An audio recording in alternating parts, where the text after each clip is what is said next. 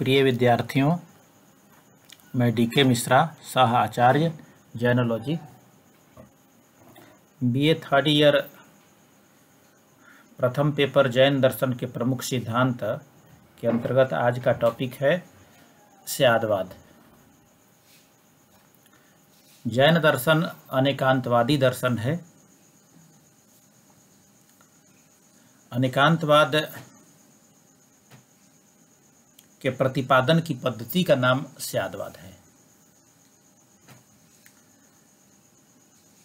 Jainism के अनुसार प्रत्येक वस्तु अनंत धर्मात्मक है। अनंत धर्मात्मक वस्तु का प्रतिपादन कैसे किया जाएगा? यह बोध स्यादवाद कराता है। ज्ञान अनंत है और ज्ञेय भी अनंत है। ज्ञान यानी नॉलेज अनंत है और ज्ञेय यानी पदार्थ पदार्थ भी अनंत है। किंतु भाषा की शक्ति सीमित है। अनंत ज्ञान के द्वारा अनंत ज्ञेयों को जाना तो जा सकता है, किंतु सीमित भाषा के द्वारा अनंत ज्ञेयों का कथन नहीं किया जा सकता, प्रतिपादन नहीं किया जा सकता। इसी समस्या के समाधान के लिए जैन दर्शन में स्यादवाद का सिद्धांत प्रतिपादित किया गया है। स्यादवाद का अर्थ दृष्टिकोण या अपेक्षा है।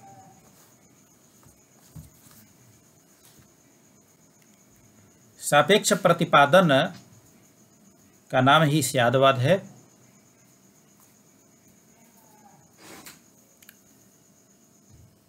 स्यात शब्द के कई अर्थ होते हैं। प्रशंसा, अस्तित्व, विचारणा, विवाद, संशय, प्रश्न, कदाचित। किंतु जैन दर्शन में स्यादवाद का अर्थ कुछ और ही है। इसका अर्थ अनेकांतवाद है। यह सापेक्षवाद है।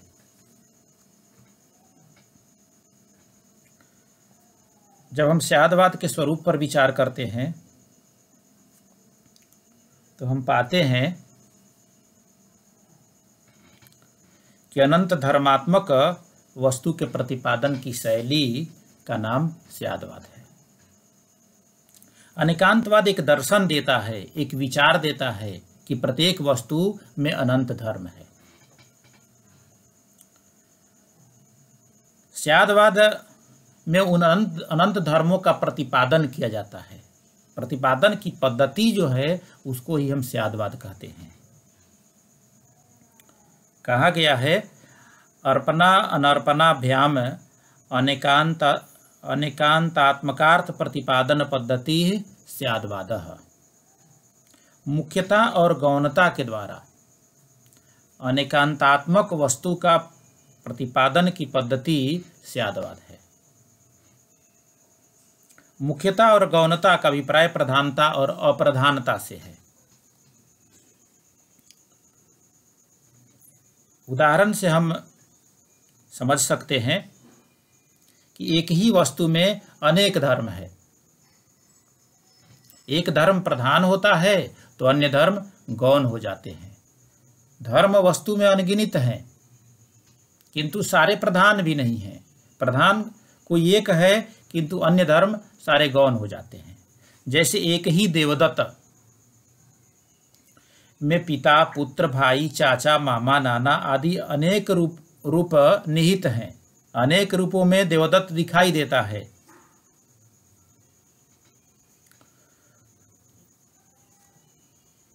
सारे धर्म विरोधी भी हैं, विरोधी प्रतीत होते हैं। पिता, पुत्र आदि धर्मों में विरोध प्रतीत होता है। इसके बावजूद भी अपेक्षा से इनमें कोई विरोध नहीं है, क्योंकि देवदत्त अपने पुत्र के दृष्टि से वह पिता है किंतु देवदत्त के भी पिता हैं, उनके दृष्टि से देवदत्त पुत्र भी है। देवदत्त में केवल पिता और पुत्र का धर्म ही नहीं है। किसी की दृष्टि से वह पति भी हैं, किसी के दृष्टि से देवदत्त मित्र भी हैं। इस प्रकार एक देवदत्त में अनेक धर्म हैं, एक देवदत्त में अनेक रूप दिखाई देते हैं। यदि हम एक ही धर्म का प्रतिपादन करते हैं, अन्य धर्म को हम गौन भी नहीं रखते हैं तो वह कथन हमारा सत्य नहीं होगा। इसलिए हमें इस तरह का प्रतिपादन करना चाहिए कि अन्य धर्म, प्रधान धर्म का प्रतिपादित कर रहे हैं, किंतु अन्य धर्म भी कम से कम गौन रूप में रहे। ये नहीं कि गौन रूप में धर्म को भी नकार दिया जाए, ऐसा प्रतिपादन नहीं हो। यही है स्यादवाद। क्योंकि जब वस्तु पदार्थ अनंत धर्मों वाला है तो एक धर्म के आधार पर उस पदार्थ को पूर्णता से नहीं समझा जा सकता। स्यादवाद की शैली में उसे समझा जा सकता है। और इसी शैली में पूर्णता है। ऐसी मान्यता जैन दर्शन की है। इस प्रकार स्यादवाद का अर्थ और स्यादवाद के स्वरूप पर हमने प्रकाश डाला। अगले व्याख्यान में हम सप्तभंगी के विषय में चर्चा करेंगे। आज इतना ही।